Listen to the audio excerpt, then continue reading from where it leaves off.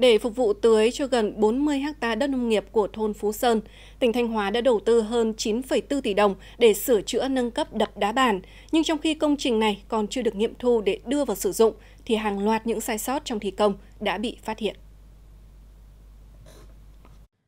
Công trình đập đá bàn, tường chắn sóng bị nứt ở nhiều điểm. Theo người dân địa phương, công trình đập đá bàn phục vụ cho gần như toàn bộ diện tích đất nông nghiệp của thôn. Tuy nhiên, những dấu hiệu không bảo đảm chất lượng, kể cả từ một số hạng mục đơn giản nhất như bậc lên xuống tại công trình, đã tạo nên nỗi thất vọng lớn cho hơn 1.000 người dân nơi đây. Đối với bà con nhân dân thì chưa cần phải qua chuyên môn, nhưng mà thấy cái cái chất lượng của công trình thì không được theo cái sự kỳ vọng của bà con nhân dân thì qua đây cũng nhờ đài truyền hình đề cập đến các cấp có thẩm quyền về là xem xét lại cái chất lượng của công trình này ừ, để mong làm sao nó đáp ứng được cái mong muốn và nguyện vọng của cử tri.